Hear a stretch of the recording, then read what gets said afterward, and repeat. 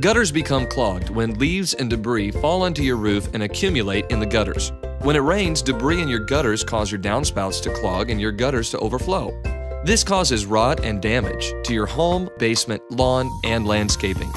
With Gutter Helmet's Rain Gutter Guards, you never have to worry about clogging again. And if your gutters do get clogged, we will clean them for free. Protect your home and landscape today. What are you waiting for?